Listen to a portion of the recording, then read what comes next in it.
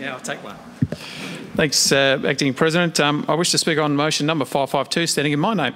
And uh, this motion goes on to say that this House notes that uh, the one, the Legislative Council functions on behalf of all Victorians and therefore all proceedings should be subject to public scrutiny. Two, a recent Australian election survey conducted by the Australian National University of more than 2,100 Australians found just 25% of respondents believed people in government could be trusted. Three, fair media coverage of parliamentary proceedings is a critical part of democracy. Four, visual and audio recording and still photography are permitted in the Legislative Council chamber by accredited media organisations and individuals only. Five, removing certain restrictions on photography in the Australian Senate has ensured a greater sense of transparency in the federal parliament.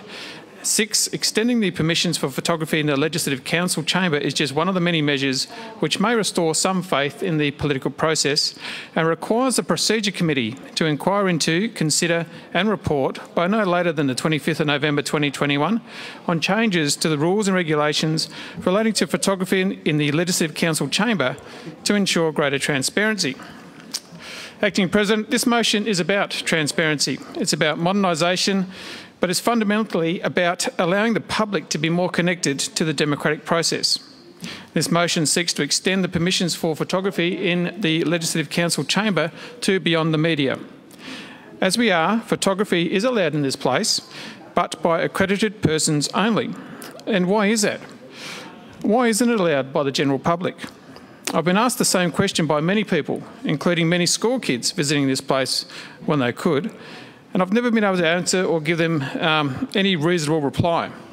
Sometimes I reply that I don't know, and it's just what the rule is. No one's ever been able to explain to me why this is the case, but in all honesty, I don't believe that the status quo is satisfactory. Why is public photography banned in the public gallery? If the answer is you don't want to get photographed picking your nose, well then don't pick your nose. If you don't want to get photographed falling asleep, don't fall asleep. If that's the main reasons for not allowing photography, then, then that's pretty thin. Is it tradition? If so, it's not unusual for traditions in this place to be superseded. As I peruse the photographs of previous presidents outside the halls just around the corner, I noticed that it, it wasn't that long ago that the presidents wore a full bottom wig and this has since been dispensed with. And I suppose, thankfully so, for some of the presidents in the modern era. Although, acting president, I wouldn't mind seeing you in a full bottom wig right now. Might, might be some improvement. But that is what the essence of this motion is. The modern era. It is just one of the many measures. it is just one of the many measures which may restore some faith in the political process. Imagine the great photos family and friends could have taken when Miss, Miss Watt did her maiden speech recently in this place. Imagine the photos from the public gallery um, could take when important laws are passed in this place, for, the, for instance, Dying with Dignity as an example. When Mr Jennings made his farewell speech, I sat just over there and I saw his family and friends sitting in the public gallery. And I thought, how good would it be for them just to take some photos for their own memories of Mr Jennings in his, in his final speech to Parliament. Imagine being a school kid and being able to take photos of your political representative in action, becoming more engaged in the democratic process, rather than just sitting up there soaking in the atmosphere. It's about the public, and in particular, it's about our children becoming more connected with the political process. We need to regularly look at ways to modernise the parliament. And at the end of the day, this motion is a referral to the Procedure Committee.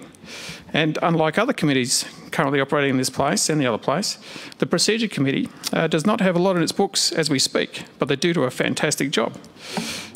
I know Mr Limbrick had concerns about uh, people's privacies when sitting at the public gallery, and these arguments and issues would be fleshed out in such a referral.